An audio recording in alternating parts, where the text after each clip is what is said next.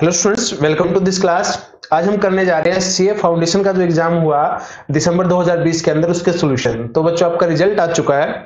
तो आप देख सकते हैं आपके कितने मार्क्स हैं और कितने क्वेश्चन आपने अटेम्प्ट किए थे, किस तरीके से किए थे।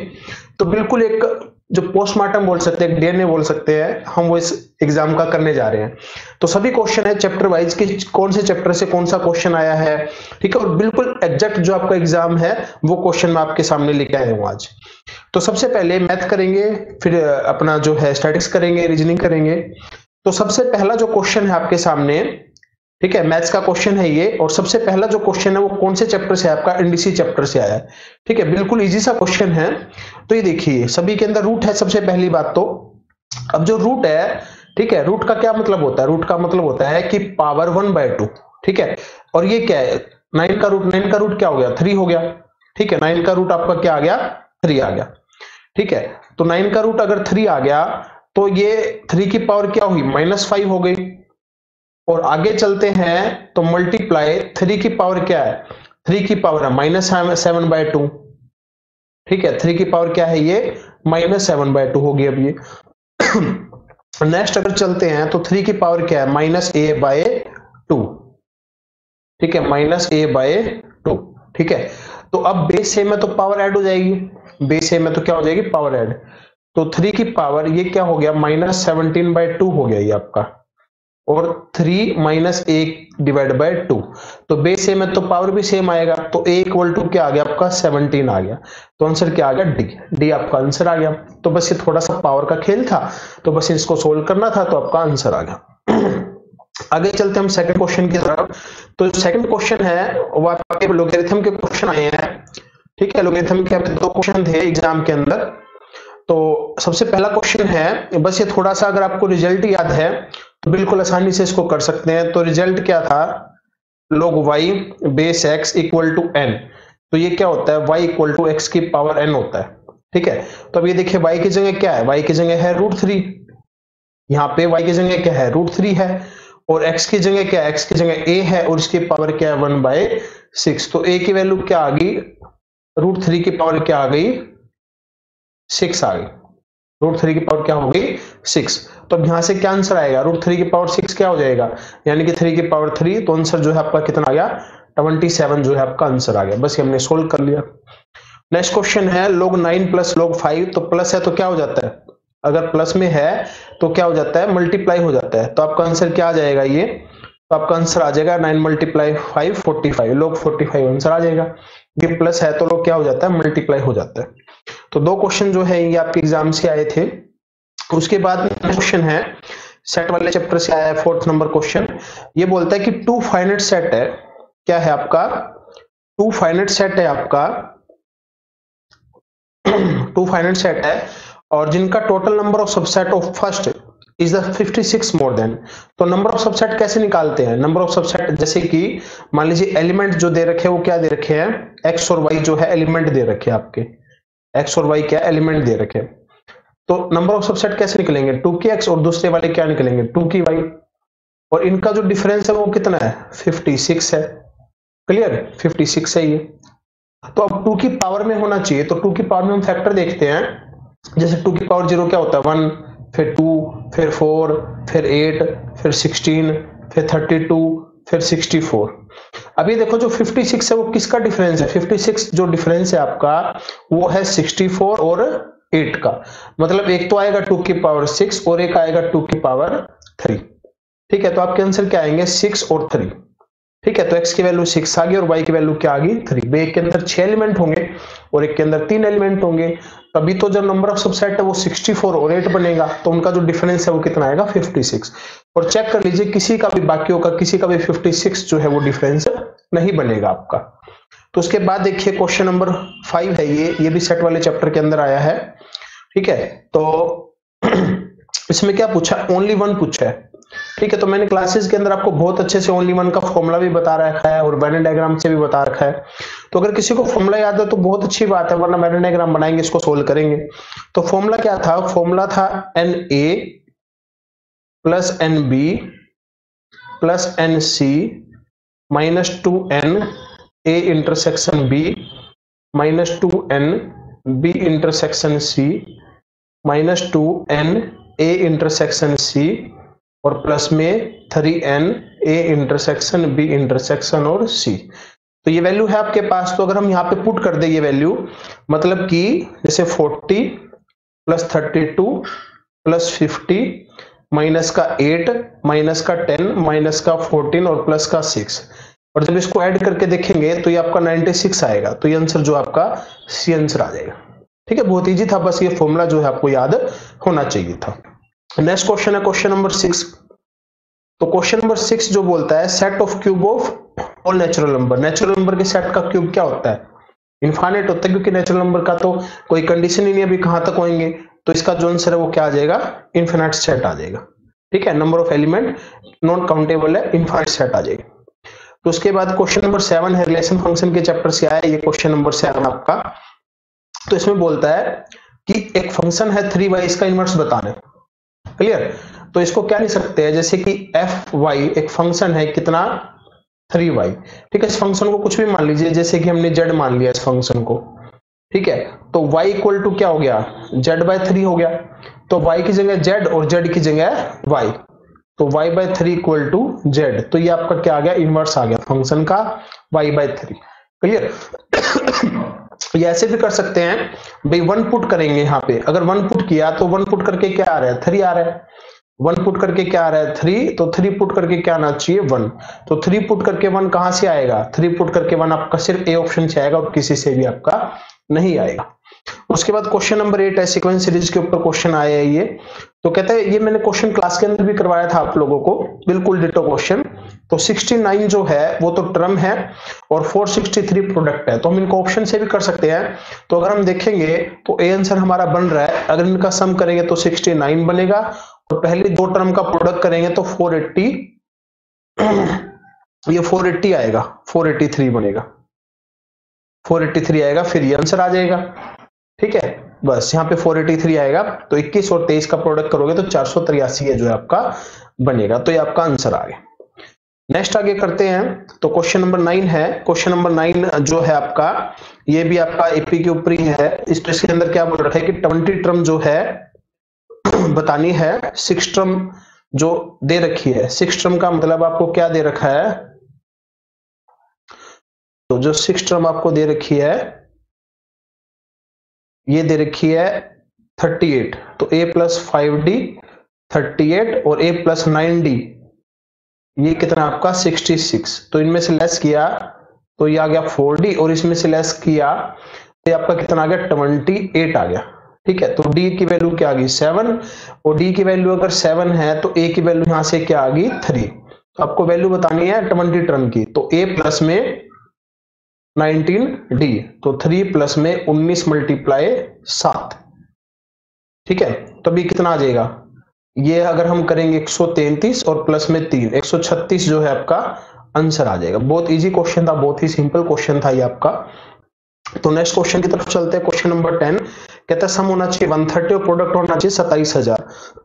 तो हम अगर ए ऑप्शन का सम देखें तो आ रहा है 130 और बी का भी आ रहा है 130 इनका प्रोडक्ट भी सताइस हज़ार आ रहा है तो आपका क्या आंसर हो जाएगा? सी आंसर हो जाएगा कि ए और बी बोथ आंसर आ जाएँगे।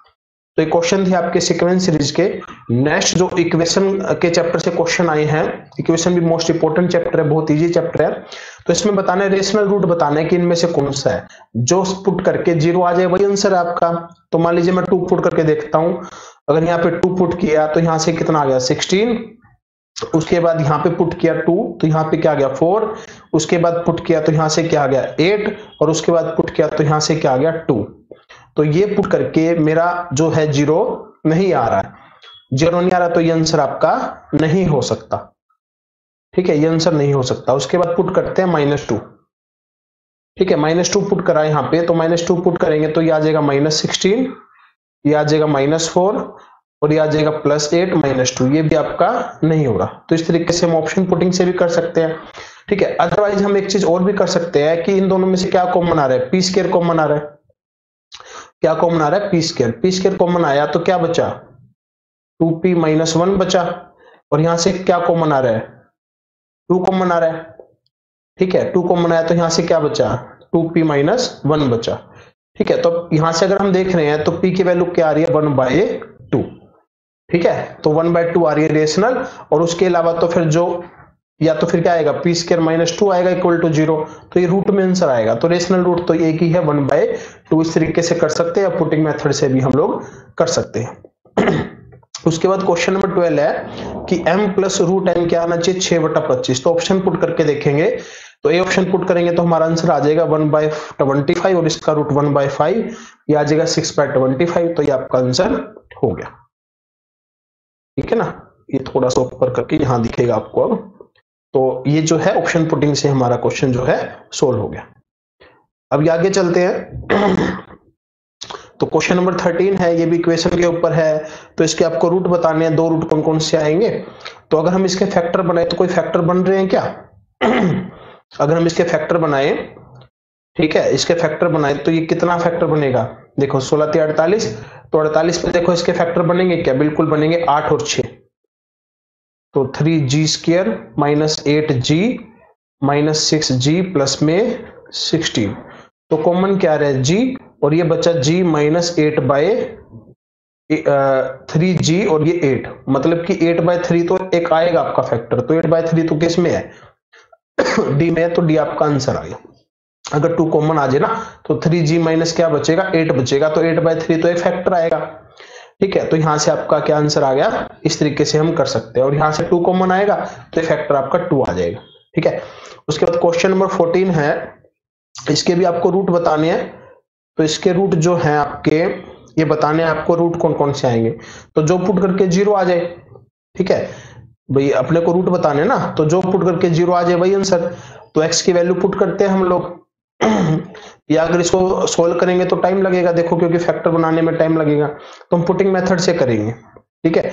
तो पुटिंग मेथड से करते हैं तो पहले हम पुट करते हैं ए पुट करके देखते हैं। तो ए पुट करा तो क्या हो गया? टू ए स्क्र फिर यहाँ पे ए पुट करा यहाँ पे, ठीक है? तो ये क्या हो गया? टू ए तो यहाँ से आ गया माइनस टू ए स्क्र ठीक है? और यहाँ पे अगर हमने ए पुट करा, ये कितना आ गया? ट्वेल्व ए माइनस का, और प्लस का ट्वेल्व तो ए पुट करके आ रहा है तो ए पुट करके आ रहा है तो ये आंसर बनेगा आपका। ठीक है तो बस पुटिंग मेथड से किया तो आपका आंसर आ गया। नेक्स्ट क्वेश्चन है मैट्रिक्स का। Transpose of row matrix row matrix का ट्रांसपोज क्या होता है बताइए? कॉलम मैट्रिक्स होता है? ठीक है रो मैट्रिक्स क्या होती है? रो मैट्रिक्स होगी, जैसे कि वन बाय थ्री तो इसका ट्रांसपोज क्या हुआ? थ्री बाय वन ठीक है रो मैट्रिक्स का मतलब ओनली वन रो ठीक है तो ओनली वन रो कॉलम कितने भी हो सकते हैं। ठीक है, अब रो तीन है कॉलम एक है तो कॉलम मैट्रिक्स होगी इसका ट्रांसपोज उसके बाद 16 है। 16 क्या कहता है क्वेश्चन आपका? 16 कहता है कि एक ही थ्री दे रखा है, एक ही फोर दे रखा है। बिल्कुल एग्जैक्ट क्वेश्चन जो एग्ज़ाम के अंदर आए थे, मेरे को बहुत टाइम लगा क्वेश्चन को देखने में और उनको ठीक करने में। काफ़ी सारी मिस्टेक भी थी टाइपिंग के अंदर, इसके अंदर। तो बिल्कुल पूरा टेस्ट जो है टाइप किया है, पूरे का पूरा ये। ओरिजिनल एग्ज़ाम है आपका जो एग्ज़ाम हुआ ना, बिल्कुल ओरिजिनल है क्वेश्चन जो है एग्ज़ाम के हैं। तो इसमें क्या है कि ए की थ्री दिया हुआ है ए की फोर दिया हुआ है और ए स्केयर आपको बताना है। ए स्केयर तो ए स्केयर को किस तरीके से निकालेंगे तो देखिए क्या कर सकते हैं इसके अंदर। अब क्या करें इसके अंदर कि ए स्केयर को निकालना है और ए थ्री ए की फोर दे रखा है। ठीक है तो अब ये बताओ कि ए की थ्री की मल्टीप्लाई ए की थ्री से करें या ए की फोर की मल्टीप्लाई ए के स्केयर से करें, बात बराबर होती है। तो हम क्या करते हैं, इसका स्केयर कर देते हैं। अगर हम इसका स्केयर करते हैं zero minus iota minus iota zero फिर zero minus iota minus iota zero ठीक है अगर हमने इसका स्केयर किया, ये तो आ गया आइटा स्केयर उसके बाद किया तो ये आ गया ज़ीरो ठीक है, यहाँ से किया तो ये आ गया ज़ीरो और यहाँ से किया तो ये क्या आ गया आइटा स्केयर ठीक है, और ये आपका क्या आ गया माइनस वन ज़ीरो ज़ीरो और माइनस वन आ गया यहाँ पे। और ए की फोर ए की फोर आपका दे ही रखा है। क्या दे रखा है? वन ज़ीरो ज़ीरो वन ठीक है तो इसकी मल्टीप्लाई किसके साथ करें? कि आंसर आ जाए। तो ऑप्शन चेक करेंगे। ऑप्शन में हम इसकी मल्टीप्लाई करके देखेंगे। तो अगर इसकी मल्टीप्लाई अगर हम इसके साथ करते हैं तो आपका यही आंसर आएगा। ठीक है? तो यही आंसर आएगा तो आपका बी आंसर जो है वो आ गया। ठीक है? भाई, इसकी मल्टीप्लाई अगर हम इससे करते हैं तो आपका ये आ जाएगा। ठीक है? तो ए स्केयर क्या होना चाहिए? ए स्केयर होना चाहिए बी आंसर क्लियर हो गया बस क्वेश्चन उसके बाद क्वेश्चन नंबर सेवनटीन है a fruit basket contain seven apple six bananas four mangoes और आपको बोलता है कि थ्री फ्रूट सेलेक्ट करने हैं और ऑल थ्री एप्पल सारे के सारे एप्पल हो। तो सारे के सारे एप्पल हो तो मतलब सात में से तीन निकाल लेंगे हम। तो सेवन सी थ्री तो सेवन का फैक्टोरियल ठीक है? सेवन में से थ्री निकाल लेंगे, सिर्फ़ एप्पल होने चाहिए। और नंबर ऑफ़ एज ही पूछा है अपने को।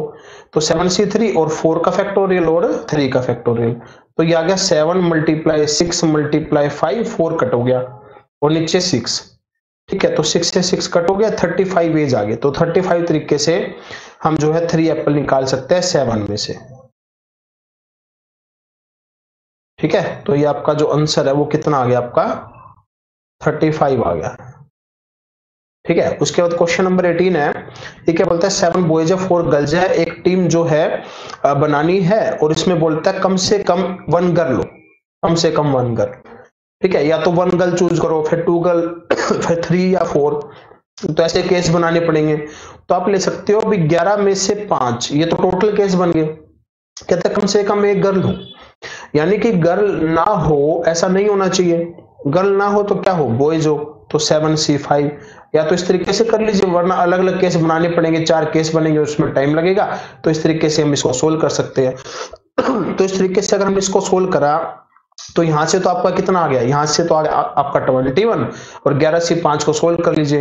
तो ग्यारह, दस, नौ, आठ, सात और छह तो कट हो जाएगा। ठीक है? Five four three two one तो इसको सोल्व करते हैं तो फाइव टू टेन चला गया। और फोर से चला गया अपना टू पे और थ्री से चला गया थ्री पे। ठीक है तो सात दुनिया चौदह तीन बयालीस, चार सौ बीस हो गया। ठीक है तो चार सौ बीस यही हुआ भैया तो। हम्म ये हो गया बयालीस मल्टीप्लाई ग्यारह।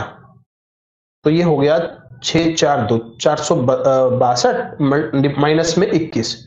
तो चार सौ इकतालीस आ गया ये। 441 जो है आपका ये आंसर आ गया। 441 ठीक है ना? बस ये हो गया, सोल्व ये नहीं है। 420 नहीं है 462 आंसर आया। मल्टीप्लाई करके 21 माइनस कर दे। उसके बाद ये क्वेश्चन है कि ये रिलेशन जो है आपको दे रखा है और आपको सोल्व करके बताना कि क्या आंसर आएगा। ठीक है? तो अगर हम इसको सोल्व करें, ये क्वेश्चन देखो आप, थोड़ा सा ऊपर करता हूँ, आपको दिखेगा क्वेश्चन यहाँ पे। तो ये देखो, ये क्वेश्चन जो है तो इसको हम क्या लिखेंगे देखो? एन का फैक्टोरियल एन माइनस फोर का फैक्टोरियल और ट्वेंटी एन का फैक्टोरियल और एन माइनस टू का फैक्टोरियल अब ये तो कट हो गया, ठीक है? अब जो है एन माइनस टू को हम क्या लिख सकते हैं? N minus two n minus three और एन माइनस फोर का फैक्टोरियल तो अब ये तो कट हो जाएगा।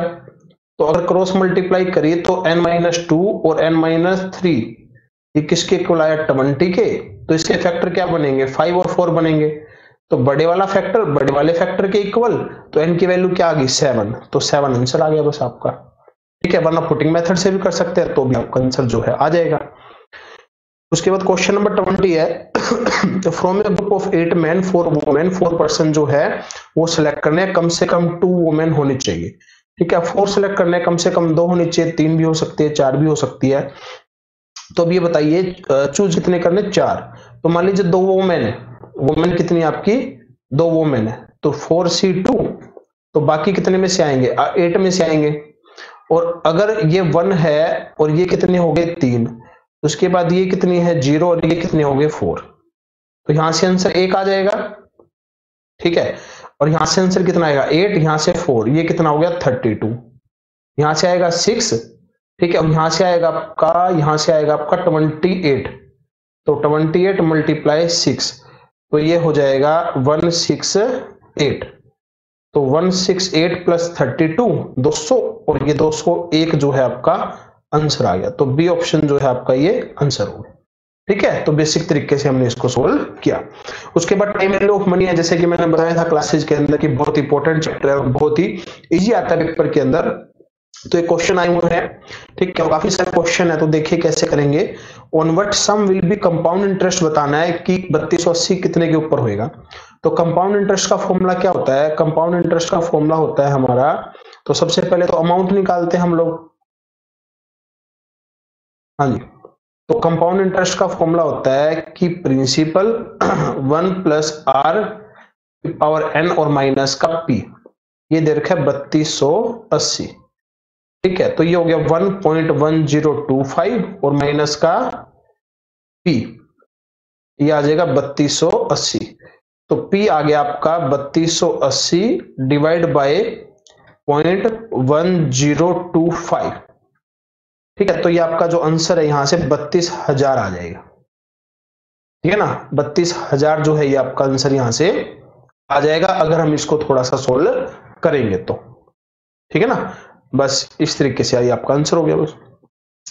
तो आगे चलते हैं क्वेश्चन नंबर ट्वेंटी टू है। ये बोलता है, बयालीस हज़ार आठ सौ जो है आपका, वो क्या है? सिंपल इंटरेस्ट है। तो सिंपल इंटरेस्ट कैसे निकलता है? सिंपल इंटरेस्ट तो दे रखा है, और अपने को क्या चाहिए? प्रिंसिपल तो प्रिंसिपल कैसे निकलेगा? Simple interest multiply hundred upon में टाइम और रेट तो ये दे रखा है बयालीस हज़ार आठ सौ मल्टीप्लाई हंड्रेड और टाइम ढाई परसेंट दे रखा है तो टू पॉइंट फाइव और टाइम दे रखा है थ्री ईयर थ्री मंथ तो थ्री ईयर और थ्री मंथ तो एक बटा चार चार तीन, बारह, और एक तेरह तेरह बटे चार. तो इसको सोल्व कर लेंगे, हमारा आंसर आ जाएगा. और ये शायद इतना आएगा ये। Five two six seven six nine ये आंसर आएगा आपका। एक बार चेक करके देखना तो ये जो है आपका ये आंसर जो है आ जाएगा। ठीक है? बस इसको डिवाइड करना कैलकुलेटर पे, आपका आंसर आपके सामने होगा। तो उसके बाद है अमाउंट पी बिकम्स ये आपको अमाउंट दे रखा है, और सेकेंड और फोर्थ ईयर और वन परसेंट जो है कंपाउंड इंटरेस्ट पी और आर की वैल्यू जो है आपको बतानी है। ठीक है? किसकी वैल्यू बतानी है? पी और आर की। और कितने ईयर का गैप है? ये सेकंड का और फोर्थ ईयर का गैप दे रखा है आपको। ठीक है? और वन परसेंट जो है इंटरेस्ट पर एनम है। पी बिकम सेकंड और फोर्थ ईयर तो आर तो दे ही रखा है इसने। हम्म? क्वेश्चन तो यही था भाई। तो इसमें वन परसेंट तो दे रखा है, one percent interest per annum तो फिर तो ये आंसर ही आ गया। टी आर पूछा था आर तो दे रखा है इसके अंदर क्वेश्चन के अंदर, जो क्वेश्चन मेरे को मिला है तो फिर तो ये आंसर ही आ गया। बस हो गया ये तो। ठीक है, एक बार ट्राई और कर लेते हैं, क्योंकि पाँच हज़ार का जो एक परसेंट है, वो कितना हो गया? पाँच हज़ार का, अगर हम एक परसेंट करते हैं तो कितना हो गया? पचास रुपए हो गया। अगले साल का भी पचास रुपए और इसका फिर एक परसेंट करेंगे तो पॉइंट पाँच आ गया। तो इंटरेस्ट बनना चाहिए सौ रुपए पचास पैसे दो साल में। बिल्कुल सही बन रहा है। ठीक है तो आंसर आ गया डायरेक्ट बस। तो इसमें पी की वैल्यू पूछी होगी आर की नहीं पूछी होगी तो आपका आंसर ये आएगा बी आंसर आएगा। नेक्स्ट क्वेश्चन है ट्वेंटी फोर तो ये बोलता है certain sum invested four percent compound semi annually और at the end of one year इतना है सम बताना है कितना हुआ। ठीक है तो ये हो गया एक लाख बीस हज़ार। तो प्रिंसिपल वन ये हो गया पॉइंट ज़ीरो टू और इसकी पावर टू सेमी एनुअली हो गया अभी तो बस इसको इससे डिवाइड कर देना तो ये आपका जो है पी की वैल्यू आपकी आ जाएगी। तो नेक्स्ट क्वेश्चन है फाइंड द फ्यूचर वैल्यू बतानी है आपकी। तो फ्यूचर वैल्यू बतानी है एनवीटी की। तो एनवीटी की फ्यूचर वैल्यू का फॉर्मूला क्या होता है? एनवीटी की फ्यूचर वैल्यू का फॉर्मूला होता है आपका। हाँ जी एनवीटी की फ्यूचर वैल्यू का फॉर्मूला क्या होगा आपका? आर वन प्लस आई की power n minus one upon में आई, ये फॉर्मूला होता है। तो हज़ार, और ये हो गया वन पॉइंट वन फोर की power seven minus one divide by point one four. तो ये वैल्यू दे रखी है। तो उसके बाद तो कैलकुलेटर का काम है, इसको सोल्व कर लीजिए, आपका आंसर आ जाएगा। ठीक है, करके देखना बस ये। तो उसके बाद है find the present value. Present value बतानी है आपको। ठीक है और इज़ रिक्वायर्ड अब ये एनविटी नहीं है। यहाँ पे बच्चे गड़बड़ करते हैं एनवर्टी नहीं है यहाँ पे, ठीक है? तो after five year to be required present value ये चाहिए अपने को एक लाख रुपए बाद में। तो एक लाख तो क्या हो गया? अमाउंट तो अपने को प्रिंसिपल निकालना है इसका। रेट है वन पॉइंट ज़ीरो नाइन हो गया और पावर फाइव तो इसकी पावर फाइव करके इसे डिवाइड करना है आपको? ठीक है, चौसठ हज़ार समथिंग आंसर आ जाएगा आपका। ठीक है, अगर हम इसको डिवाइड करेंगे तो। वैल्यू आपको दे रखी है। तो नेक्स्ट क्वेश्चन है ट्वेंटी सेवन नंबर क्वेश्चन अब ये क्या बोलता है? कैश फ्लो हंड्रेड है इंटरेस्ट रेट इतना है। और अपने को क्या बताना है? एनविटी बतानी है फ्यूचर वैल्यू कितना होएगा? ठीक है तो फ्यूचर वैल्यू हम कैसे निकालते हैं बताओ? तो फ्यूचर वैल्यू बताओ, किस तरीके से निकालते हैं? तो इस तरीके से क्वेश्चन दे रखा है। तो फ्यूचर वैल्यू कैसे निकालते हैं भाई? मतलब कि फ्यूचर वैल्यू का क्या फॉर्मूला होता है? आर वन प्लस आई की power n minus one upon i ये फॉर्मूला होता है। ठीक है? तो ये कितना hundred, one point zero eight, इसकी पावर फाइव माइनस वन और पॉइंट ज़ीरो एट। तो देखो इसमें से कौन सा आंसर आ रहा है? तो इसमें से आंसर आ रहा है आपका मल्टीप्लाई डिवाइड करना है इससे। तो ये डी आंसर आ रहा है, देखो। बिल्कुल हमारे फॉर्मूले से मैच करता हुआ, बिल्कुल। ठीक है? तो ये आंसर आ रहा है आपका। ठीक है? बस हो गया? मतलब कि डिवाइड करना है ना इससे? तो ये डिवाइड तो सिर्फ़ इसी के अंदर हो रहा हो रहा और तो किसी में भी नहीं हो रहा। तो इसके बाद ट्वेंटी एट क्वेश्चन है, ये क्या बोलता है? पर्सन डिसाइड टू इन्वेस्ट करता है per year for next five year और कंपाउंड करने अप्रोक्सीमेट फ्यूचर वैल्यू बतानी तो फ्यूचर वैल्यू का जो भी हमने फॉर्मुला लिखा तो वही फॉर्मुला लगाना है हमको। तो एक लाख पच्चीस हज़ार और वन पॉइंट ज़ीरो फाइव की पावर फाइव माइनस वन और पॉइंट ज़ीरो फाइव। ठीक है, बस इसको सोल्व कर लीजिए, आपका आंसर आ जाएगा ये। तो उसके बाद देखिए, और वैसे भी एक चीज़ देखो ना, अगर हम एक लाख पच्चीस हज़ार रुपये इन्वेस्ट करते हैं पाँच सालों के लिए तो कितने हो गए? छह लाख पच्चीस हज़ार हो गए। तो छह लाख पच्चीस हज़ार तो होंगे, इससे ज़्यादा आंसर आना चाहिए। इससे ज़्यादा आंसर तो एक ऑप्शन के अंदर है बी के अंदर। तो यही आंसर मिलेगा आपका। तो उसके बाद देखिए फाइंड द कंपाउंड इंटरेस्ट पचास हज़ार रुपए कंपाउंड इंटरेस्ट बताना है eight percent compound semi annual interest बताना है। तो इंटरेस्ट में थोड़ा सा कैलकुलेटर यूज़ नहीं कर रहा तो मैं सिंपल तरीके से एक बार बता रहा हूँ। तो सेमी एनुअली है तो फोर परसेंट हो गया। तो फोर परसेंट करा तो हमने कितना आ गया? दो हज़ार और दो हज़ार। तो 2000 का फिर से 4 परसेंट कितना हो गया? 80 तो चार हज़ार अस्सी रुपए आ जाएगा ठीक है, आप कैलकुलेटर से निकाल के देखना फॉर्मूला आपको पता ही है। क्या कौन सी स्टेटमेंट इनमें से ट्रू है? तो present value of annuity due is greater than the present value of only annuity इसकी वैल्यू क्या होती है? प्रेजेंट वैल्यू की। ग्रेटर देन होती है एनविटी ड्यू की, क्योंकि वन प्लस आइटा से मल्टीप्लाई और करते हैं। ठीक है तो इसका तो ए ही आंसर आ गया। ठीक है बी तो रॉन्ग दे रखा है। फ्यूचर वैल्यू जो only annuity future value of only annuity is greater than future value of annuity due. नहीं है फ्यूचर वैल्यू तो कम हो जाएगी उसकी। नहीं प्रेजेंट वैल्यू पूछता है ना। ठीक है तो प्रेजेंट वैल्यू ज़्यादा होगी कि क्या ज़्यादा होगी? तो फॉर्मूला देखिए क्या होता है। ठीक है फॉर्मूला देखिए क्या होता है। अब वन वन प्लस आइटा से मल्टीप्लाई करेंगे तो वो तो ज़्यादा होएगी होएगी। ठीक है, दोनों केस में। तो प्रेजेंट वैल्यू भी और फ्यूचर वैल्यू भी। तो अब देखो तो प्रेजेंट वैल्यू जो है आपकी future value equal to future value of ordinary देखिए। ऑर्डिनरी इन्वर्टेड डी तो ये तो गलत हो गया। डी तो बिल्कुल ही गलत है। Future value of ordinary is greater than inverted D future value ठीक है? अब देखो फ्यूचर वैल्यू के अंदर जो फॉर्मूला होता है, कहता है ओनली एनवर्टी का जो है, वो ज़्यादा होता है। एनवर्टी ड्यू का ज़्यादा होता है। तो ये भी गलत है। तो इनमें से कौन सा ठीक आएगा? प्रेजेंट वैल्यू ठीक है? एनवेटेड ड्यू ये ए ठीक आएगा आपका, ठीक है? एक का जो फॉर्मूला लगा के देखोगे ना, बिल्कुल सही आंसर जी आपका ए आंसर आएगा। उसके बाद कहता है पच्चीस जो पेड करना है टेन ईयर तक, और इंटरेस्ट कितना है? फिफ्टी परसेंट तो लोन अमाउंट बताना है, यानी कि लोन तो प्रेजेंट वैल्यू होती है। तो पच्चीस, और ये कितना हो गया? वन पॉइंट वन फोर ठीक है? तो इसकी तो प्रेजेंट वैल्यू निकालनी है ना? तो प्रेजेंट वैल्यू का क्या फॉर्मूला होता है? तो प्रेजेंट वैल्यू का फॉर्मूला लगाएँगे। तो प्रेजेंट वैल्यू का आपका फॉर्मूला होता है हमारा वन माइनस में वन पॉइंट वन फोर की पावर माइनस टेन अपोन में पॉइंट वन फोर। तो ये फॉर्मूला लगा देंगे तो आपका आंसर जो है आपके सामने आ जाएगा। इस तरीके से करना है बस ये। उसके बाद कहता है suppose your deposit 900 per month into account 4.8 percent compound monthly और आपको बताना नाइन मंथ के बाद बताना कि कितने हो जाएँगे।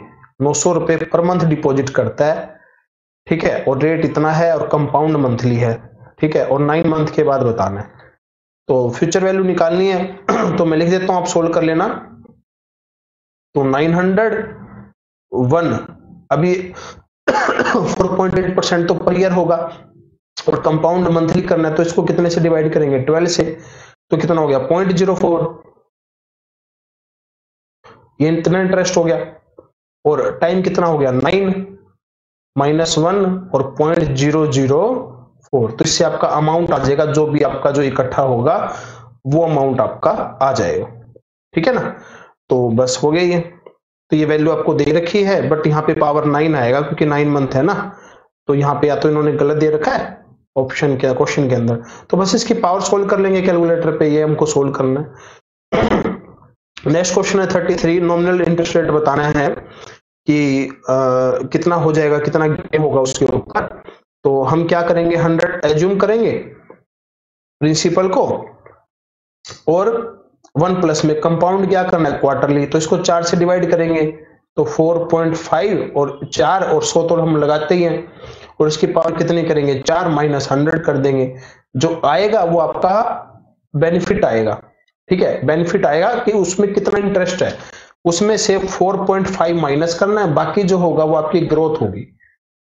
ठीक है? अगर सौ रुपए पे साढ़े चार रुपए एक साल के अंदर इंटरेस्ट लगता है तो क्वार्टरली करने की वजह से कितना इंटरेस्ट पड़ेगा तो इसको इस तरीके से सोल्व करेंगे तो आपका आंसर आ जाएगा। उसके बाद बोलते हैं सिक्स ईयर ऑनवर्ड्स है और प्रेजेंट वैल्यू निकालनी है। तो प्रेजेंट वैल्यू क्या होती है? पर पंक्चुटी की तो ए अपोन में आर होती है। तो ए कितना है? यानी कि इंस्टॉलमेंट कितनी है? दस रुपए। और रेट कितना है? बीस परसेंट का। तो ये कितना आ गया? फिफ्टी और फिफ्टी को अपने को कंपाउंड करना है कितने पे? रेट तो वही ट्वेंटी परसेंट है।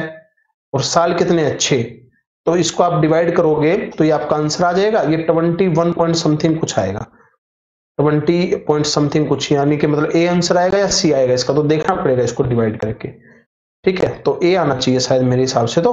बाकी आप डिवाइड करें कैलकुलेटर यूज़ करें, और ये आपका जो है आंसर आ जाएगा। थर्टी फाइव एक बोलता है प्रिंसिपल और कंपाउंड इंटरेस्ट की जो रेशो है वो थ्री ईयर में इतनी है रेट ऑफ़ इंटरेस्ट जो है आपको बताना है। ठीक है तो कंपाउंड इंटरेस्ट और प्रिंसिपल की रेशो बता रखे थ्री ईयर की। तो अब ये बताइए कि प्रिंसिपल हो गया, ठीक है? तो प्रिंसिपल कितना हो गया? प्रिंसिपल और कंपाउंड इंटरेस्ट की। प्रिंसिपल हो गया 216 और कंपाउंड इंटरेस्ट कितना है? 127 है। तो अमाउंट कितना हो गया? फॉर्मूला क्या होता है? Amount principal one plus R by hundred और टाइम कितना है? थ्री है। तो इन दोनों को जोड़ेंगे तो अमाउंट आ जाएगा। तो अमाउंट हमारा हो गया तीन इन दोनों को हमने ऐड कर दिया। प्रिंसिपल कितना है? दो सौ सोलह। और one plus R by hundred की पावर कितना है? थ्री। तो तीन सौ तिरयालीस बटे में दो सौ सोलह की पावर वन बाय थ्री, और ये हो गया one plus R by hundred. तो ये इसका क्यूब रूट कितना आ गया? छ और इसका कितना आ गया? सात। तो ये आपका one by six C answer आ जाएगा। वन बाय सिक्स आएगा ये, और वन बाय सिक्स को करेंगे तो पॉइंट वन सिक्स जो है आपका आंसर आएगा। उसके बाद क्वेश्चन है थर्टी सिक्स, ये आपका क्वेश्चन थोड़ा रॉन्ग है। तो वैसे तो अप्रोक्सीमेट कॉस्ट पूछी है इसके अंदर, और आपको कॉस्ट फ़ंक्शन दे रखा है एवरेज कॉस्ट फ़ंक्शन दे रखा है। तो टोटल कॉस्ट पूछ रखा है अप्रोक्सीमेट कॉस्ट को तो टोटल कॉस्ट लेके चलते हैं। तो एवरेज कॉस्ट मल्टीप्लाई क्वांटिटी ये होता है, ठीक है? तो एवरेज कॉस्ट दे रखा है, ठीक है? तो एवरेज कॉस्ट में क्या पुट करना है अपने को? 15 पुट करना है। तो 2 मल्टीप्लाई फिफ्टीन प्लस में 6 और प्लस में 13 डिवाइड बाय 15 तो इसको कितने से गुना करना है? इसको करना है 15 से क्वांटिटी से गुना करना है। तो ये कितना हो गया? 36 प्लस में तो मल्टीप्लाई 15 तो ये आपका आंसर आना चाहिए तेरह और पंद्रह छी के नब्बे, पैंतालीस, पाँच सौ चालीस। तो पाँच सौ तिरपन आंसर आना चाहिए। ठीक है? तो क्वेश्चन या तो क्वेश्चन रॉन्ग है कुछ। भाई क्वेश्चन कुछ और था, थोड़ा सा मिस प्रिंटिंग इसके अंदर हो रखी है बट मैंने जहाँ भी सर्च किया, यही क्वेश्चन दिखा रखा था। ठीक है?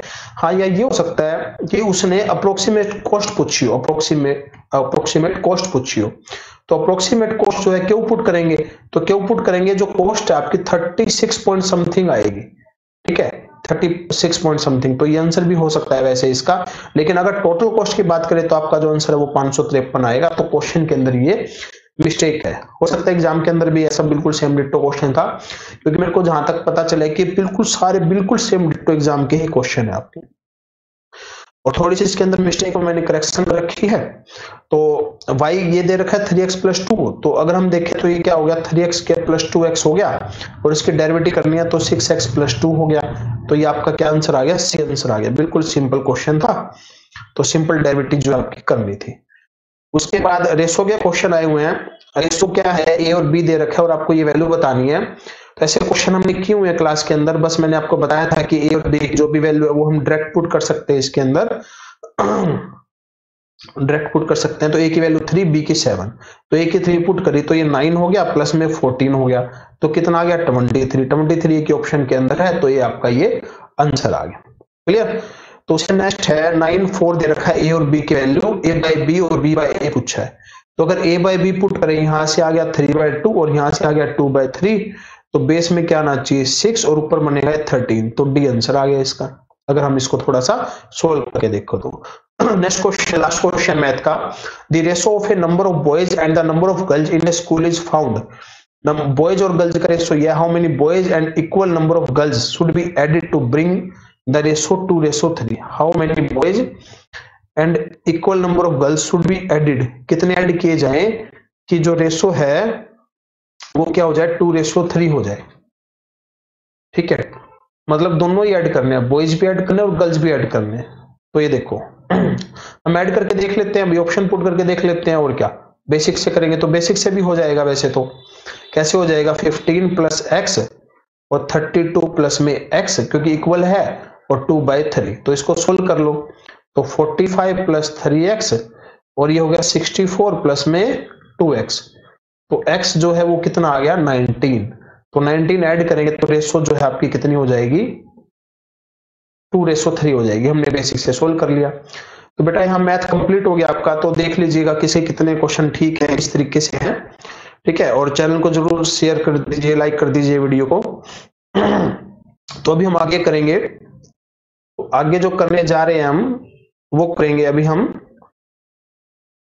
लॉजिकल रीजनिंग तो लॉजिकल रीजनिंग देखेंगे किस तरीके से क्वेश्चन है, जो आपका फ़र्स्ट चैप्टर है number series coding decoding odd one out इसमें से कौन कौन से क्वेश्चन आए हुए तो फ़र्स्ट क्वेश्चन है मिसिंग वैल्यू बताने की क्या आएगी? तो सबसे पहले देखिए कितने का गैप है इसमें? टू का, उसके बाद वन का, ठीक है? टू का, उसके बाद क्या है? वन का, ठीक है? उसके बाद कितने का? थ्री का उसके बाद फोर का, उसके बाद सेवन का, उसके बाद कितने का बताओ इलेवन का। अब ये देखो। टू और वन थ्री हो गया, थ्री और वन फोर हो गया, फोर और थ्री सेवन हो गया ठीक है, सेवन और फोर क्या हो गया? इलेवन तो इलेवन और सेवन क्या आना चाहिए? एटीन तो अगर एटीन इसके अंदर जोड़े तो क्या आंसर आएगा? फोर्टी सिक्स, ठीक है?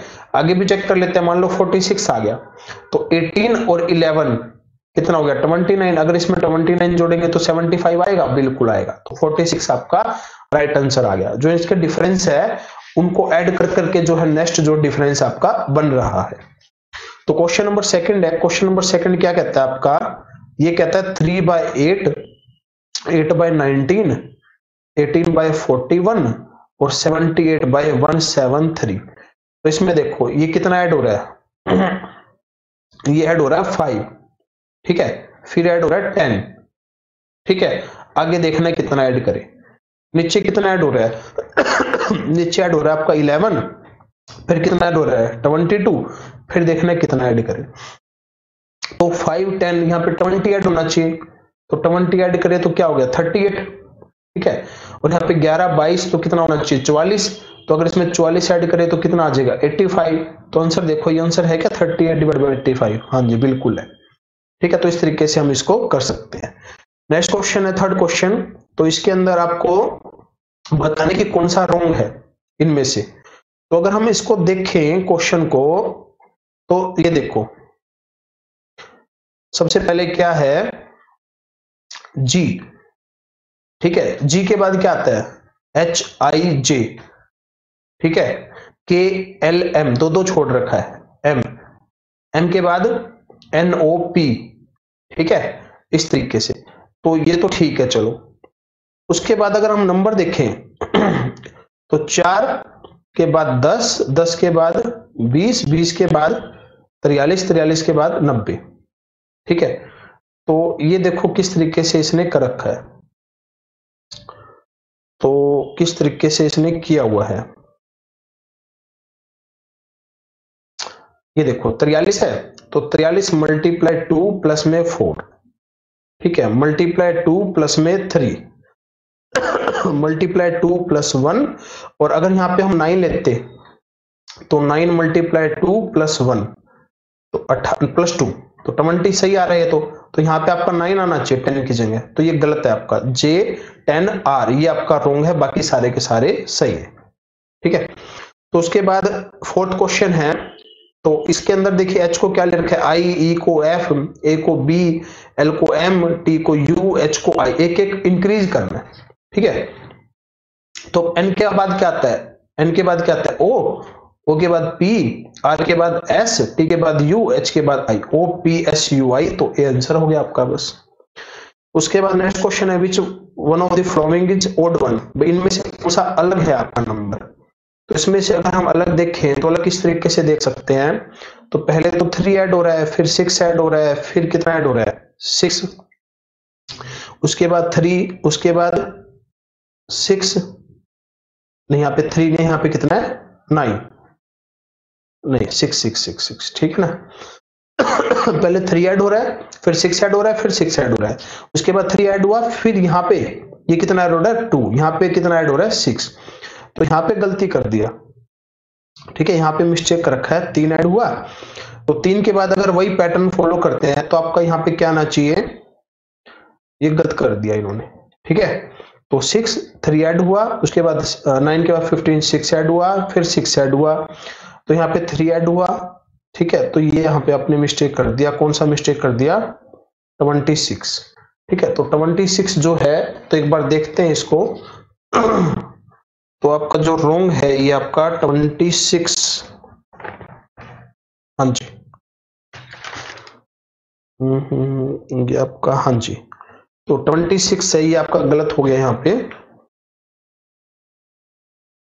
ठीक है? तो आंसर क्या आ गया? इसका ट्वेंटी सिक्स आ गया।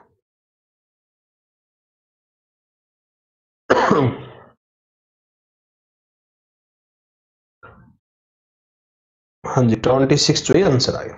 उसके बाद डायरेक्शन सेंस टेस्ट है, इसके अंदर देखिए क्वेश्चन क्या बोलता है? One day Ram left home Ram ने लेफ़्ट किया और वो साउथ की साइड गया कितना? Ten kilometre. लो भाई, वो गया साउथ की साइड कितना? Ten kilometre. उसके बाद टर्न राइट यहाँ पे जाके उसने क्या ले लिया? राइट तो राइट तो इस तरफ़ बनेगा इसका। और फाइव किलोमीटर गया। उसके बाद फिर टर्न राइट किया, फिर कितना गया? फिर दस किलोमीटर गया ये। उसके बाद टर्न लेफ़्ट यहाँ जाने के बाद उसने क्या ले लिया? लेफ़्ट लेफ़्ट तो कितना गया? दस किलोमीटर। तो बोलता है कि होम स्टेट से कितना दूर है? तो कितना दूर है? दस ये और पाँच ये, पंद्रह दूर है। तो फिफ्टीन आंसर आ गया इसका। नेक्स्ट क्वेश्चन है a man is facing west ठीक है, एक जो मैन है वो वेस्ट फेस करता है। देखिए तो ईस्ट वेस्ट वेस्ट जो है वो फेस करता है, इधर है फेस उसका। कहता है, अब क्लॉकवाइज एंटी क्लॉकवाइज क्या होता है? इस तरीके से अगर चले, ये तो क्लॉकवाइज और अगर ऐसे चले तो एंटी क्लॉकवाइज ठीक है? तो कहता है क्लॉकवाइज 45 डायरेक्शन मूव कर गया। तो यहाँ पे आ गया वो 45 डिग्री तो। उसके बाद another 180 degree in same direction इसी डिग्री में 180 डायरेक्शन और क्लॉकवाइज तो यहाँ पे बनेगा वो, इधर आ गया अब। उसके बाद 270 degree anti clockwise anti clockwise मतलब 270 270 का मतलब 180 तो ये हो गया। ठीक है, अब 90 और करेगा तो 90 किधर आएगा? इधर आएगा। ये 90 बनेगा आपका।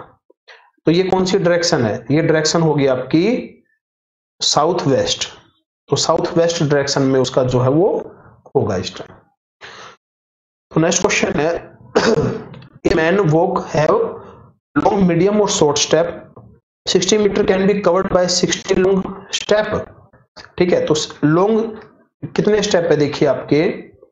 कौन कौन से स्टेप? आपके लॉन्ग है, मीडियम है और शॉर्ट है।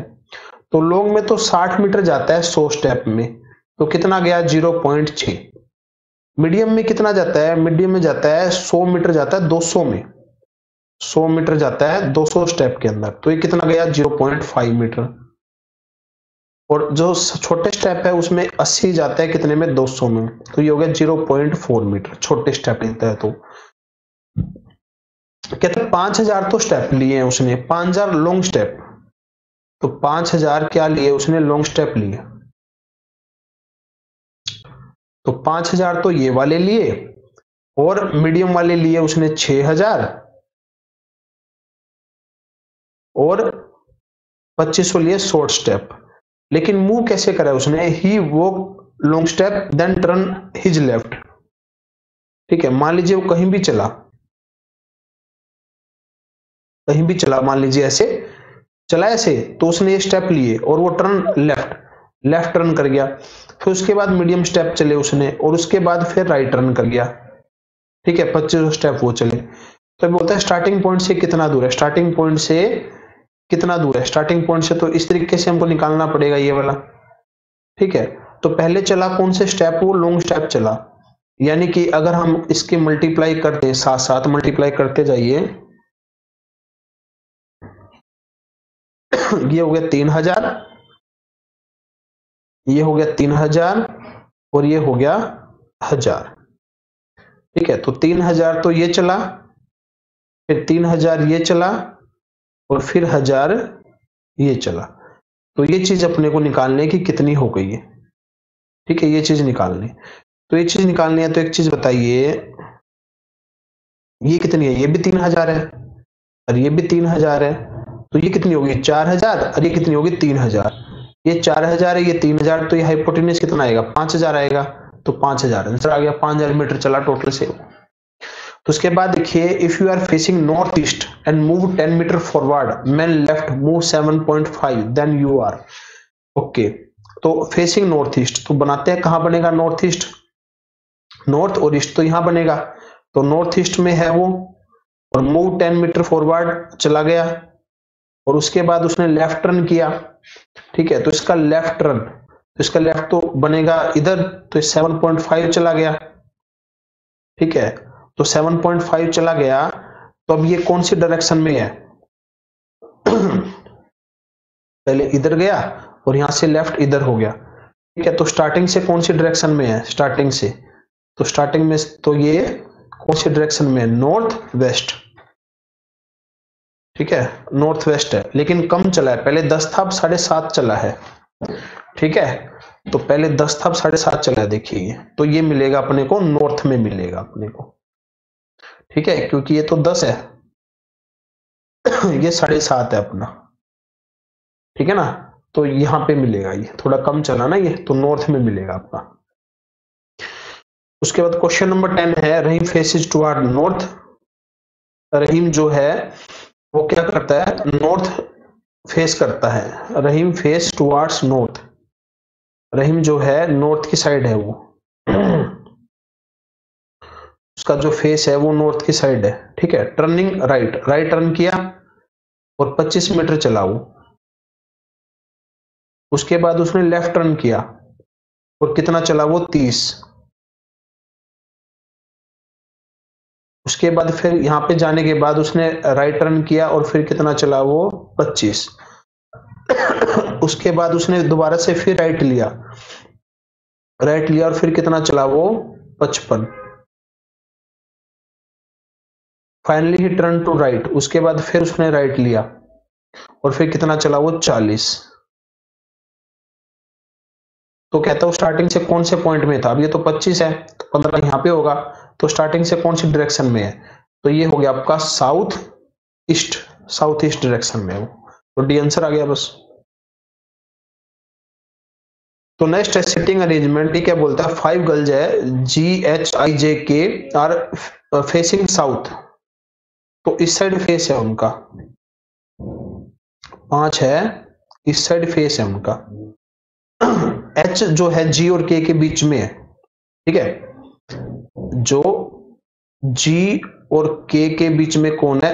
H I immediate right to K K K right में है, ठीक है? तो ये के है और फेस उनका इस साइड है, ठीक है? तो के के राइट में है। ठीक है? एंड जे जो है वो इसके लेफ़्ट में है। तो ठीक है? तो ये जी हो गया, ये एच हो गया, ये के हो गया, ये आई हो गया। और के के जी यहाँ पे जे है और यहाँ क्या है? आई ये जे है। तो इनमें से कौन सा ट्रू है? जे थर्ड लेफ़्ट टू के जो जे है, वो थर्ड लेफ़्ट में है, ये ठीक है। G second left of I G is the second to the left of I I के सेकंड में, ना, वो तो एच है। एच इज़ राइट ऑफ़ के ना, वो तो लेफ़्ट में है। H is the left of G ये तो राइट में है तो ये ए आंसर आ गया। जो जे है, वो थर्ड है के के लेफ़्ट में। फ़र्स्ट सेकंड थर्ड ये आंसर आ गया। उसके बाद क्वेश्चन नंबर ट्वेल्व है। डिफरेंट है। Are sitting in circle facing the centre तो एट फ्रेंड है और सर्कल के अंदर वो बैठे हैं। एक, दो, ठीक है?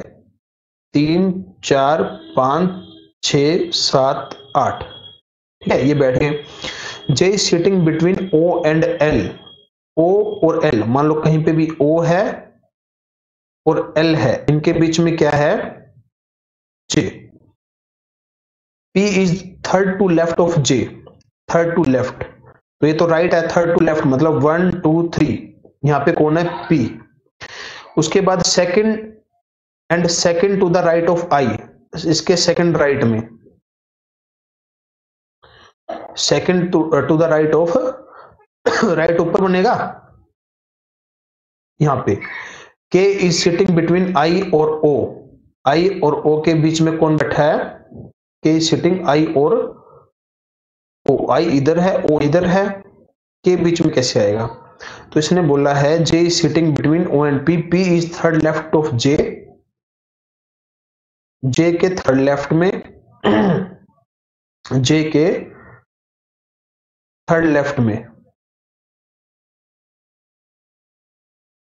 अच्छा थर्ड लेफ़्ट तो इधर आएगा ना? थर्ड लेफ़्ट तो इधर आएगा पी ठीक है पी तो इधर आ गया। तो इसको यहाँ से हटाते एक बार पी को। और second to the right of I I के राइट में है। आई के second to the right of I I के सेकंड राइट में।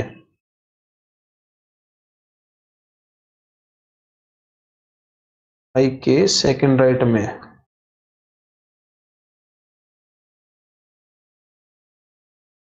हाँ जी आई के सेकंड राइट में। और के जो है आई और ओ के बीच में है। के जो है आई और ओ के बीच में है। Second to the right of I I के सेकंड राइट में। यहाँ पे हो गया। आई और ओ के बीच में कौन है? ये तो नहीं बना भाई। J and M sitting not opposite each other एक दूसरे के अपोजिट नहीं बैठेंगे। जे और एम यहाँ पे गड़बड़ कर रहे हैं भाई। कुछ ना कुछ ये दोबारा देखते हैं। एट फ्रेंड है। सेंटर को फेस करते हैं। J is sitting J is sitting between O and L O L के बीच में जे आ गया। ठीक है J sitting between O and अच्छा एक काम होगा फिर, क्योंकि के जो है, वो आई और ओ के बीच में है। तो ये करना पड़ेगा। आई ओ के तो इसके बीच में आएगा ही। अच्छा और जो जे है, वो ओ और एल के बीच में है तो जे इधर आएगा ओ एल इधर आएगा। इनको तो फिक्स कर लेते हैं पहले। उसके बाद देखेंगे बाकी तो।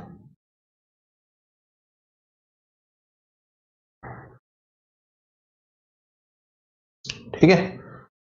तो इसको फिक्स करते हैं एक बार। ये बनाया हमने सर्कल ठीक है? तो एक, दो तीन, चार, पाँच छ सात और आठ। इनको बिठा देते एक बार। ये आई ये के ये ओ ये जेड और ये एल इनको फिक्स कर दिया। अब बोलता है आई और के बीच में के हो गया। अब कहते हैं J and M not sitting opposite other J और एम अपोजिट नहीं बैठेंगे। मतलब जो एम है, वो यहाँ नहीं बैठ सकता। जे और एम एम यहाँ नहीं बैठ सकता इसके अपोजिट में। ठीक है, यहाँ नहीं बैठ सकता अपोजिट में। ठीक है? ओके एम यहाँ नहीं बैठेगा। तो यहाँ और कोई बैठेगा? ठीक है? अच्छा अब एक चीज़ और क्या बोलता था ये? ये बोलता था पी जो है इज़ जे के थर्ड लेफ़्ट में है। और सेकंड राइट ऑफ़ आई यहाँ पे आ जाएगा। यहाँ पे कौन आ जाएगा? पी तो यहाँ पे आएगा एम क्योंकि एम इसके अपोजिट में नहीं बैठेगा। आप देखो कौन बच्चा। आई आ गया जे आ गया के आ गया एल आ गया एम एन एम आ गया एन रह गया। एन यहाँ पे आएगा। ठीक है, ये बना अब। बस, ये फिक्स हो गया। तो अब देखिए क्या बोलता है, सही, इनमें से क्या बताना not correct K sitting third right to L L के थर्ड राइट में है के एल के थर्ड राइट में। हाँ ठीक है, ये तो I sitting between K and N K और एन के बीच में आई है, ये भी सही है। एल और I are sitting opposite each other L और आई एल और आई अपोजिट में है। हाँ जी एम इज़ सिटिंग एन और एल एम जो है एन और एल के बीच में है? नहीं, ये गलत है। ठीक है तो डी आंसर आ गया जो कि गलत है। मतलब कि अपना आंसर आ गया ना ये? नोट करेक्ट तो डी इज़ नोट करेक्ट उसके बाद देखिए question number thirteen read the following information carefully और ये बताने की सिक्स पर्सन है, और टू मैरिड कपल है। ऐसा क्वेश्चन तो बुक के अंदर भी है, मेरे को जितना ध्यान आ रहा है।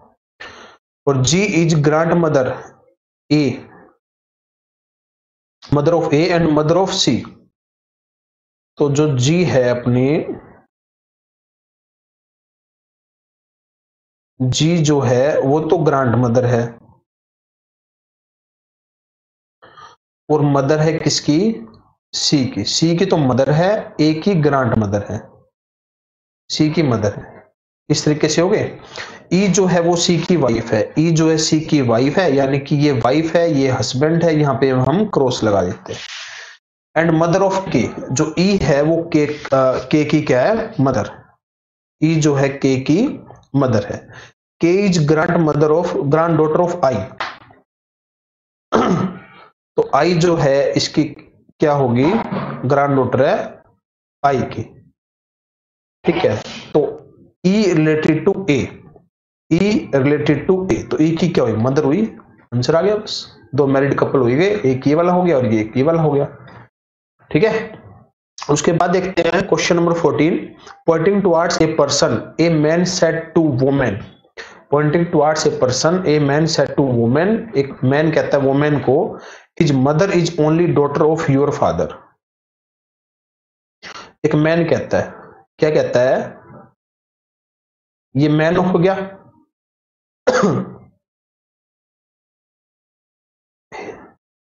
मैन सेट टू वोमेन एक वोमेन को कहता है। एक पॉइंटिंग टुवर्ड्स ए पर्सन एक पर्सन को पॉइंट करके कहता है कि हिज मदर उसकी मदर मान लो कोई बंदा है, उसकी mother only daughter of your your father how the women related to that person अच्छा pointing towards a person he man said to women women को कहता है कि हिज मदर तो हिज मदर कि उसकी मदर मतलब कि इसकी मदर ओनली डॉटर है। इसकी जो मदर है ओनली डॉटर है उसके फादर की। तो वो मैन उसकी क्या लगी? मदर लगी? Only daughter of your father हाँ ठीक है तो तो उसके हाँ ओनली डॉटर है, उसके फादर की ओनली डॉटर है तो इसकी क्या लगी? मदर लगी, हो गया बस। क्वेश्चन नंबर फिफ्टीन है Vicky introduce as the son of the only brother of his father wife how Vicky related to John Vicky introduce John as the son of only brother of his father wife ये father ये wife ये father ये wife John as the son of the only brother his father हो गए? किसके? Vicky introduce Vicky introduce करता ना ये विकी विकी इंट्रोड्यूस करता है किसी को कि विकी इंट्रोड्यूस करता है John as the son of only brother of his father wife wife के, ये वाइफ है, इसके ओनली ब्रदर के सन है। तो कज़न हो गए ये तो आपस में। ठीक है? तो सिक्सटी क्वेश्चन कहता है, एक Kane said to a lady lady को कहता है your mother husband sister is my aunt how related to lady lady को कहता है, एक ये लेडी होगी इसकी मदर इसकी मदर के हस्बैंड की सिस्टर इसकी आंट है. Kane said a lady lady को कहता है, ये लेडी होगी इसकी मदर के हस्बैंड की सिस्टर उसकी आंट है मैन रिलेटेड टू मैन तो ब्रदर ही हो गया इसका। हाँ बस हो गया। सेवनटीन है। ये कहता है Sahil said pointing out of lady एक लेडी को पॉइंट करके कहता है she is the daughter of the woman who is the mother of husband of my mother कहते हैं, ये मदर मदर के husband husband of my mother के husband who is the mother इसकी mother she is the daughter of the women इसकी daughter मतलब इसकी तो बुआ हो गई, ठीक है? तो लेडी साइल की क्या लगी? तो बुआ को क्या बोलते हैं? आंट बोलेंगे हो गया आंसर नेक्स्ट एटीन एटीन में क्या बोलता है कि pointing to a lady A said that women is my nephew material grandmother maternal होगा यहाँ पे मेटेरियल क्या होगा मेटरनल भी लेगा how is the women related to a sister who has no sister A said the women कोई women है is my nephew. Is my nephew, is my nephew maternal grandmother. कहते हैं my nephew women is nephew होगी मतलब इसके कोई father होंगे? ये होंगे। माई नेफ्यू है। नेफ्यू कैसे है? Maternal grandmother grandmother how is the women related to a sister who has no sister क्या बोलता है भाई? वोमेन इज़ नेफ्यू जो ये वोमेन है, ये नेफ्यू है। मतलब इसके कोई, जैसे कि भाई या किसी की लड़की है हाउ इज़ दैट वुमेन जो वुमेन है related to a sister a कहता है कि वो नेफ्यू है। ए सिस्टर ए की सिस्टर जो वुमेन है, वो इसकी क्या लगी? ए की सिस्टर की हु हैज़ नो सिस्टर जिसकी कोई सिस्टर नहीं है।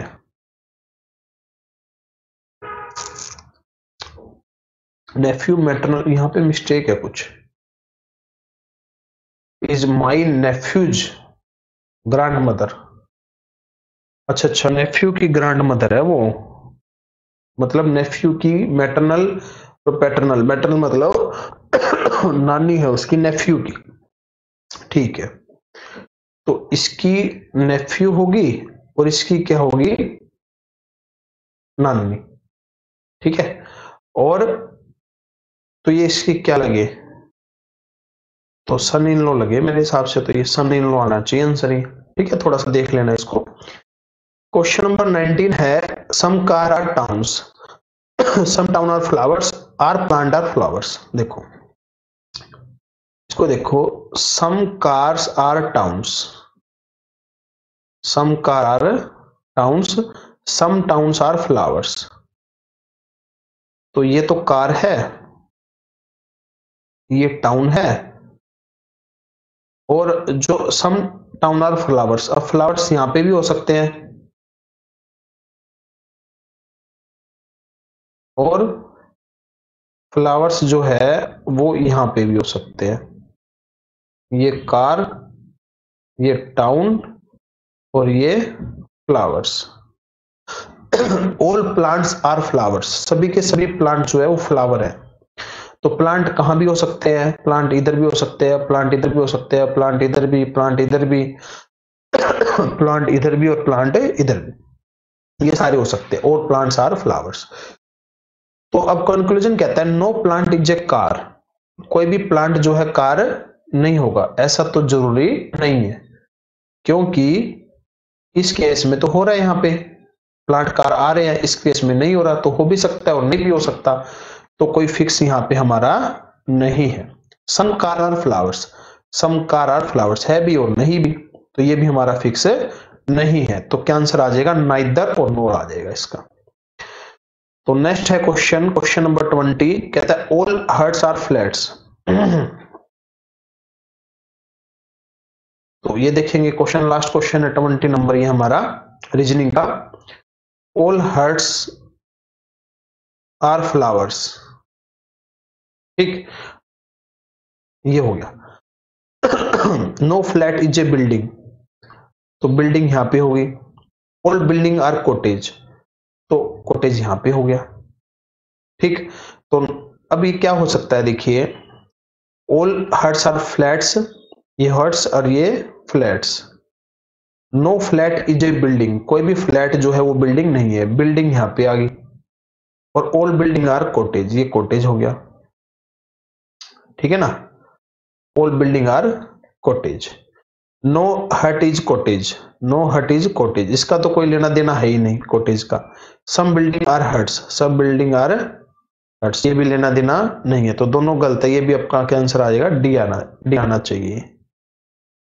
ठीक है? सम बिल्डिंग आर हट्स ये तो गलत है। नो हट इज़ कोटेज ये ये ठीक है। तो ये आएगा only one follows only one हो जाएगा। ठीक है? फ़र्स्ट वाला तो ठीक है। नो हर्ट्स कॉटेज सही कह रहा है। और दूसरे वाला गलत है। Some building are hurts some building are hurts ठीक है? तो ये गलत कह रहा है मतलब। ठीक है ना? हाँ जी। तो ये क्वेश्चन नंबर ट्वेंटी हो गया। इसके बाद हम देखते हैं स्टैटिक्स के क्वेश्चन देख लेते हैं बस ये फटाफट। तो बस देखिएगा क्वेश्चन कहता है स्वीटनेस है, वो क्या एक एट्रीब्यूट है? ठीक है? ये क्या ये एट्रीब्यूट है, ठीक है? उसके बाद कहता है कि फाइव ऑडिटर है फर्म के अंदर रिपोर्ट करते हैं इनकम और एवरेज और ऑप्टेन जो है सिक्सटी सेवन है, ये क्या डिस्क्रिप्टिव डाटा है, ठीक है? तो बाकी तो थ्योरेटिकल क्वेश्चन है, देखो डिटेल में भी नहीं है नॉन डिटेल भी नहीं है तो descriptive data he statical can not deal statics के साथ डील नहीं करता? टेक्सुअल के साथ, जो टेक्सुअल डाटा होता है ना, उसके साथ डील नहीं करता। अब की बार थोड़ा थोड़ा थ्योरेटिकल ज़्यादा था तो बस तो ध्यान देने वाली बात थी। When data classified according to one category तो वन कैटेगरी में होता है तो सिंपल वन कैटेगरी में क्या हो जाएगा? सिंपल आना चाहिए, इसका सिंपल क्लासिफिकेशन के अंदर आना चाहिए।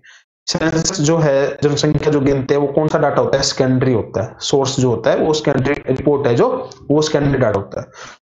उसके बाद नंबर जो है मीडियम हैवी रेन है which of the following represent तो किसको रिप्रेजेंट करता है ये?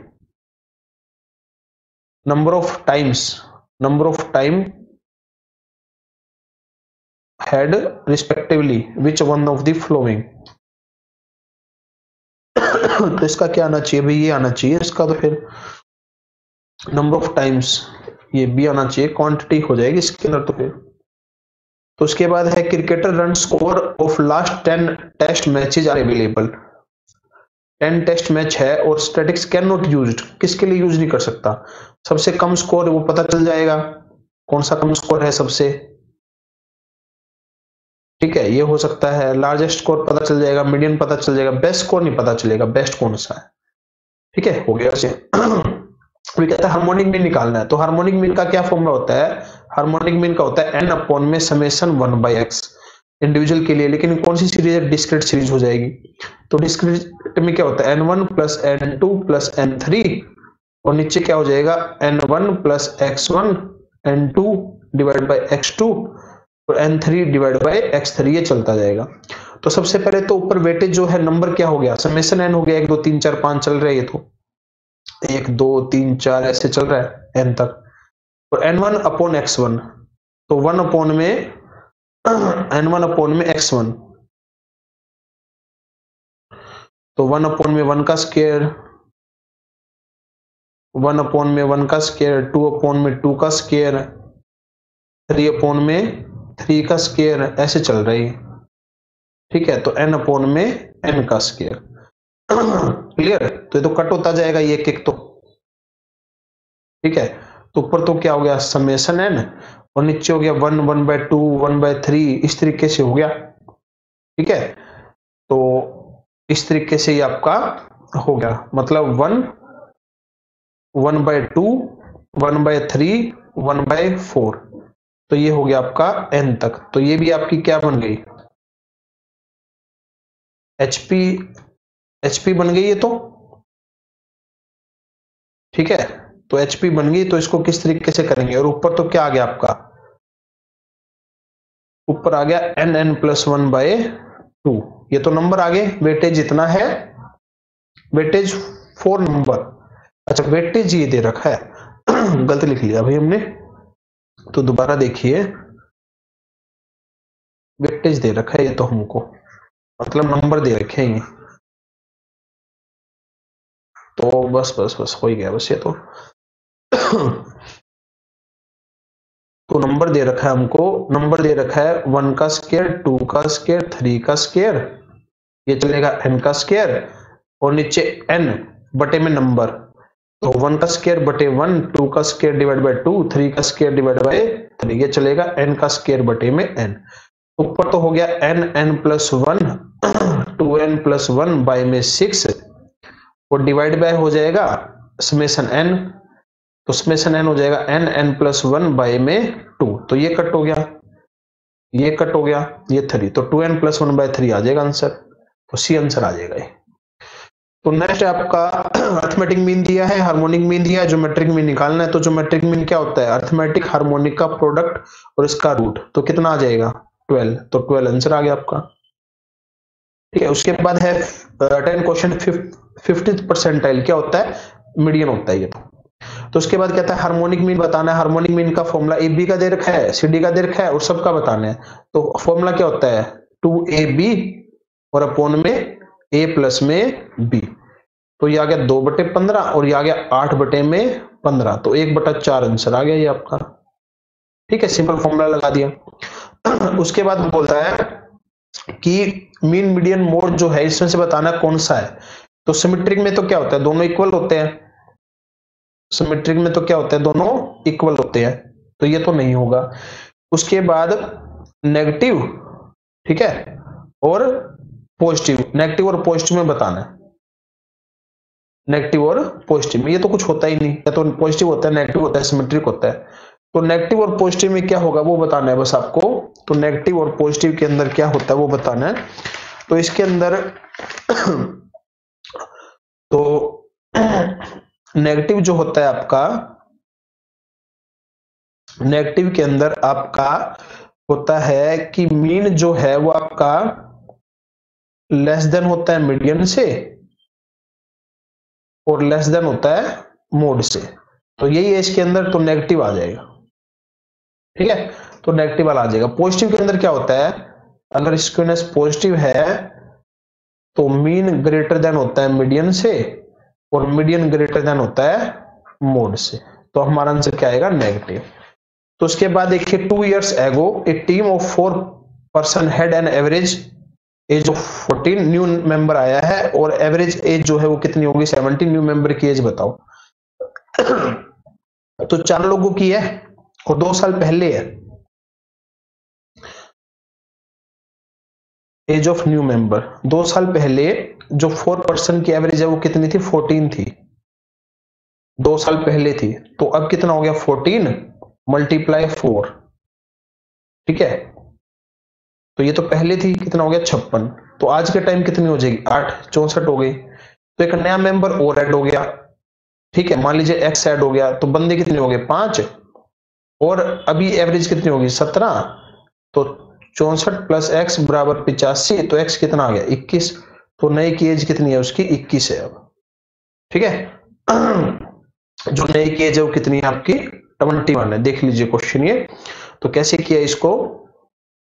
तो पहले 14 थी, चार लोगों की छप्पन हो गई, और दो साल के अंदर सबके दो दो इंक्रीज होगी। आठ बड़ी चौसठ हो गई तो नया बंदा आ गया एक्स और बंदे कितने हो गए? पाँच, और एज कितनी है? सेवनटीन तो इसको सोल्व कर लिया एक्स की वैल्यू आ गई आपकी। तो type of community frequency 14 question है। तो कम्युनिटी फ्रिक्वेंसी कितने टाइप की होती है? दो, एक लेस देन और एक मोर देन ओपन एंडेड के लिए कौन सा बेस्ट मेजर माना जाता है? ओपन एंडेड के लिए। ओपन एंडेड के लिए कौन सा बेस्ट मेजर माना जाता है? मीडियम ठीक है? उसके बाद जब आप स्पीड निकालते हैं तो स्पीड के लिए क्या यूज़ करते हैं? हार्मोनिक मीन ठीक है? बस आंसर आ गया। ये बताना था कि कौन सा मीन यूज़ होएगा? हार्मोनिक मीन यूज़ होता है। उसके बाद used when one want to visually exercise relationship between two variable दो वेरिएबल है तो किसके अंदर दिखाते हैं? दो वेरिएबल तो हम स्कैटर डायग्राम के अंदर दिखाते हैं। स्कैटर डायग्राम के अंदर दिखाते हैं दो वेरिएबल डिस्पर्सन है एब्सोलूट मेजर कौन सा माना जाता है? एब्सोलूट डेविएशन के लिए बेस्ट कौन सा माना जाता है? मीन डेविएशन माना जाता है। मीन डेविएशन होता है इसके लिए। तो scatter diagram help us to किसके लिए होता है? स्कैटर डायग्राम नेचर बताता है। वो आपको एक्सटेंड नहीं बताता और मैथमेटिकल रिलेशनशिप भी नहीं बताता। वो आपको क्या बताता है कि एक नेचर नेचर रिलेशन बताता है किस टाइप का नेचर है पॉजिटिव है नेगेटिव है, किस तरीके का उसके बाद प्रोबेबिलिटी का क्वेश्चन है ए स्पीक है बी स्पीक है ट्रुथ के बारे में बोल रहा है और बोलता है कि सेम इंसिडेंट सेम इंसिडेंट मतलब या तो दोनों ट्रूथ हो या दोनों फॉल्स हो। तो दोनों ट्रूथ के कितने चांस हो गए सेवेंटी वन बाई हंड्रेड और फोर्टी बाय हंड्रेड। और दोनों फोल्स के ट्वेंटी नाइन बाई हंड्रेड और सिक्सटी बाय हंड्रेड। दोनों फोल्स के ये हो गए तो अगर इसको मल्टीप्लाई किया ऊपर, ये हो गया अट्ठाईस सौ चालीस और ये हो गया ज़ीरो, नौ छिका चौवन। ठीक है? और पाँच और ये सत्रह। बटे में सौ। या दस हज़ार। ठीक है? तो ये कितना हो गया आपका? इसमें से तो नहीं आया कॉन्ट्राडिक्ट ईच अदर अच्छा अच्छा कॉन्ट्राडिक्ट है। Other in arresting same incident each other अच्छा। कॉन्ट्राडिक्ट बताना कॉन्ट्राडिक्ट ये तो सेम लाइक हो गया ना, कहते एक दूसरे से कॉन्ट्राडिक्ट हो। तो कॉन्ट्राडिक्ट मतलब एक ट्रू दूसरा फॉल्स और एक फॉल्स तो दूसरा ट्रू तो seventy one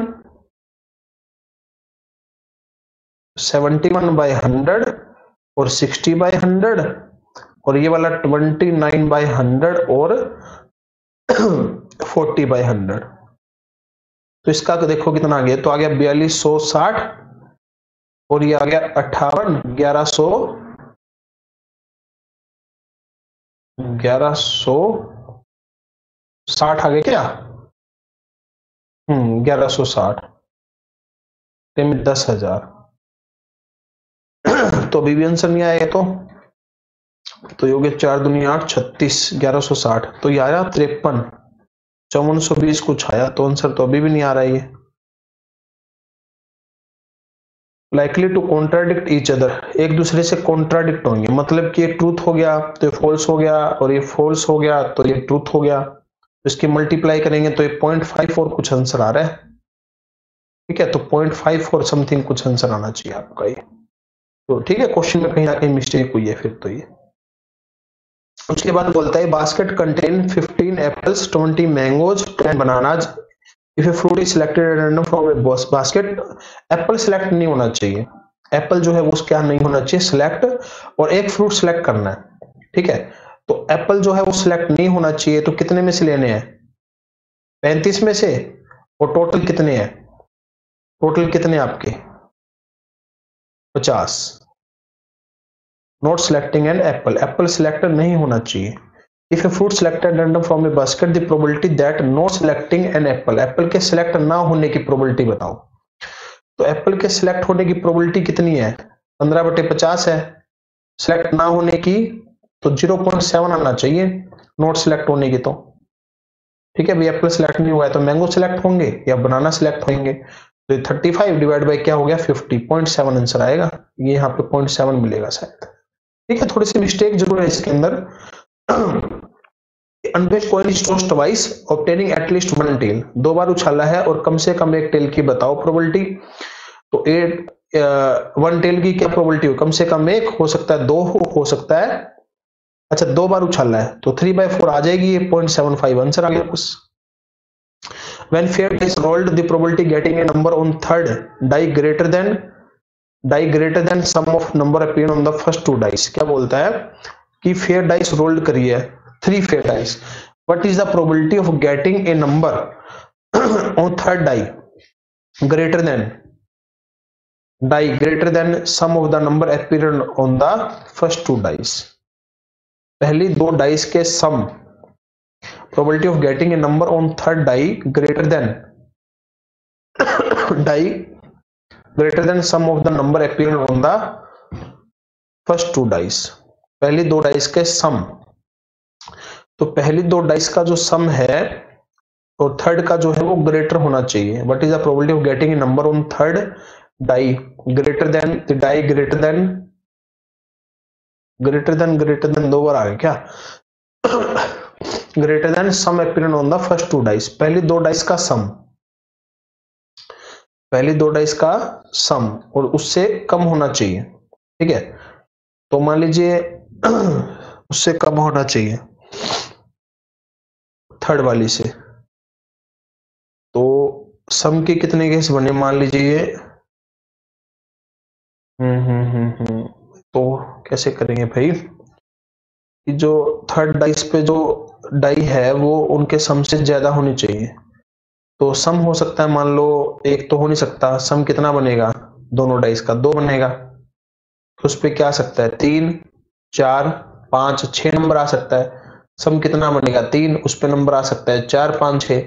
सम कितना बनेगा? चार, उस पर नंबर आ सकता है पाँच, छह। सम कितना बनेगा? पाँच, उस पर सम कितना आ सकता है छह।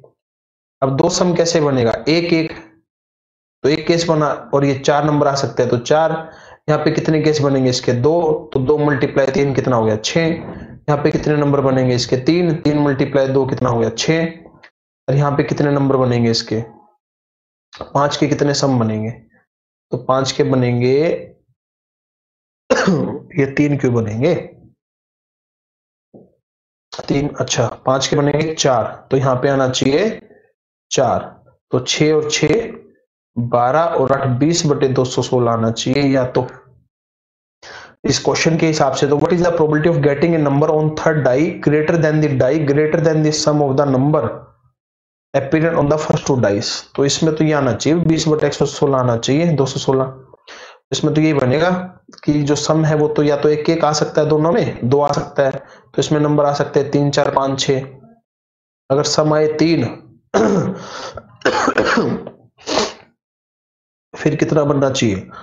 चार पाँच छ ठीक है? तो सम के ऊपर बात कर रहे हैं ना? तो सम के केस तो कितने बनेंगे फिर आपके? हम्म, चार चार आठ।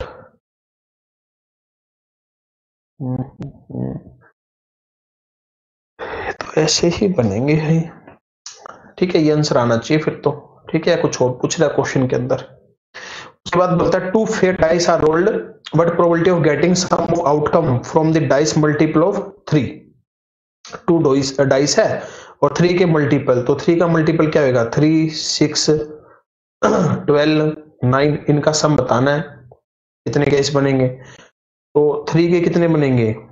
टू सिक्स के बनेंगे फाइव इसके वन और नाइन के कितने बनेंगे? फोर। तो पाँच नौ, दो, ग्यारह और एक, बारह बटे छत्तीस। तो ये बी आंसर आ गया आपका। नेक्स्ट है थ्योटिकल डिस्ट्रीब्यूशन से आया if we change parameter parameter को चेंज कर दे तो शेप जो है वो सेम रहेगी। तो शेप जो सेम रहती है वो नॉर्मल की रहती है क्योंकि बेल आइकन होता है शेप हमेशा जो है वो सेम रहेगी।